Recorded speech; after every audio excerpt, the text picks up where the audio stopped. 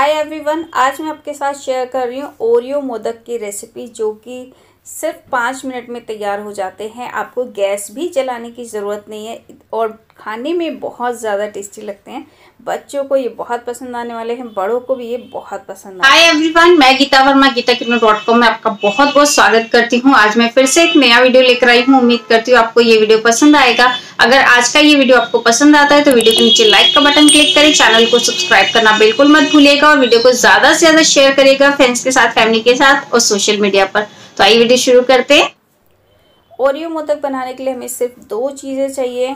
यहाँ पे मैंने लिए हैं दो पैकेट ओरियो बिस्किट और यहाँ पे चाहिए हमें कंडेंस मिल्क तो कंडेंस मिल्क की रेसिपी ऑलरेडी मेरे चैनल पे है। अगर आप देखना चाहते तो लिंक मैं डिस्क्रिप्शन बॉक्स में डाल दूँगी। तो हमें इस तरह का कंडेंस मिल्क चाहिए। अगर आपका गाढ़ा है तो उसे थोड़ा सा पतला कर लीजिएगा दूध डाल के। और यहाँ पर मैंने कुछ ड्राई फ्रूट्स लिए हैं बारीक कटे हुए। ये टोटली ऑप्शनल है। अगर आप डालना चाहते हैं तो डालें, नहीं तो स्किप कर दें। सबसे पहले हम बिस्किट का पैकेट खोल लेते हैं। तो यहाँ पे हम बिस्किट निकाल लेते हैं। तो आप, मैं यहाँ पर सिर्फ़ दो बिस्किट के पैकेट यूज़ कर रही हूँ। आपको ज़्यादा बनाने हैं तो आप ज़्यादा यूज़ कर सकते हैं। अब हम क्या करेंगे? बिस्किट को अलग अलग कर लेंगे। इसकी जो क्रीम है वो हम एक बाउल में निकालते जाएँगे और बिस्किट हम अलग कर लेंगे। इस तरह से, जिस तरह से मैं कर रही हूँ, इस तरह से बिस्किट को खोलिए, उसकी क्रीम अलग कर लीजिए और बिस्किट अलग कर लीजिए। तो यहाँ पे मैंने सारी क्रीम निकाल ली है। अब हम क्या करेंगे? बिस्किट को ग्राइंड करेंगे। बिस्किट का हमें चूरा बनाना है। क्रीम को हम साइड में रख देते हैं। तो यहाँ पे मैंने मिक्सी का जार लिया है। इसके अंदर हम बिस्किट इस तरह से तोड़कर डाल देंगे। और हमें बिस्किट का बारीक पाउडर बनाना है। इसे बिल्कुल बारीक बारीक पीसना है। तो यहाँ पे देखिए, मैंने मिक्सी में इसे पीस लिया है और काफ़ी बारीक पाउडर तैयार कर लिया है। देखिए, कुछ इस तरह का हमें पाउडर तैयार करना है। तो अब हम इसे प्लेट में ट्रांसफ़र कर लेते हैं। तो आपको दिखाती हूँ। तो ये देखिए, इस तरह का हमने बारीक पाउडर तैयार कर लिया। अगर कुछ मोटे टुकड़े रह गए हैं तो उसे निकाल दीजिए या फिर दोबारा पीस लीजिए। अब इसके अंदर हम कंडेंस मिल्क डालेंगे। कंडेंस मिल्क आपका बहुत गाढ़ा नहीं होना चाहिए। अगर गाढ़ा लग रहा है तो आप उसमें थोड़ा सा दूध मिला लीजिए, पतला कर लीजिए। और अगर पतला है तो आपको दूध मिलाने की ज़रूरत नहीं है। अब थोड़ा थोड़ा इसमें कंडेंस मिल्क डालेंगे और इस एक आटे की तरह गूंदेंगे। इसे जैसे आटा गूंदते हैं, उस तरह से इसे मिक्स कर लेंगे और डो बना लेंगे आटे की तरह। तो थोड़ा थोड़ा करके डालें, क्योंकि ज़्यादा नहीं लगता अगर ज़्यादा डाल देंगे तो गीला हो सकता है। बिल्कुल थोड़ा थोड़ा आपको डालना है। तो देखिए, इस तरह से ये आटे की तरह गुंद जाएगा बंध जाएगा आपस में। तो बहुत ही कन, आ, कम कंडेंस मिल्क का इस्तेमाल किया हुआ है और इसमें चीनी बिल्कुल भी नहीं लगती क्योंकि कंडेंस मिल्क काफ़ी मीठा होता है बिस्किट भी मीठे होते हैं। और यहाँ पे जो क्रीम है उसमें हम ड्राई फ्रूट्स ऐड कर देंगे जो हमने काट के रखे हैं। ये टोटली ऑप्शनल है अगर आप डालना चाहते हैं तो डालें नहीं डालना चाहते ना डालें पर इससे बहुत ही अच्छा क्रंची टेस्ट आता है मोदक के अंदर तो ये बहुत ज़्यादा टेस्टी लगते हैं। तो इस तरह से मिक्स कर लेंगे क्रीम को और ड्राई फ्रूट्स को। देखिए, जैसे आटा गूंदते हैं इस तरह से मैंने दोनों मिक्स करके इस तरह से डो बना लिया है। इससे क्या होगा, इससे स्टफिंग करने में बहुत ही आसानी हो जाती है।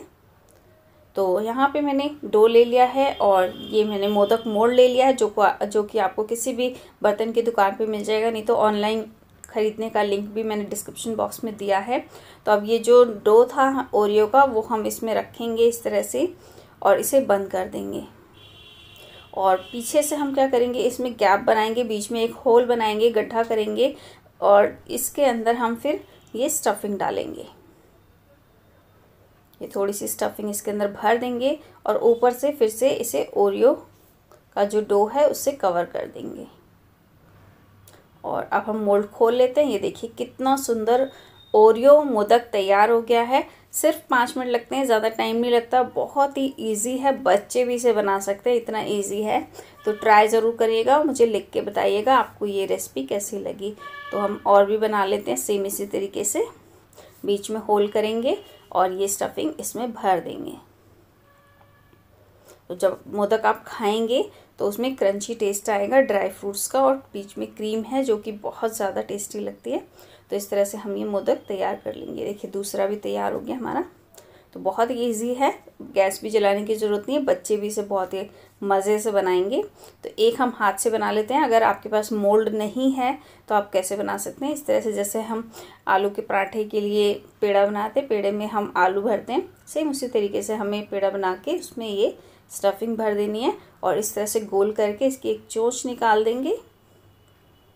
ये देखिए, कुछ इस तरह से चोच निकाल देंगे। और इस पर हम थोड़ा सा डिज़ाइन दे देंगे। तो यहाँ पे मैं चम्मच के पीछे के हिस्से से इस तरह से लाइनें डाल दूँगी इस पर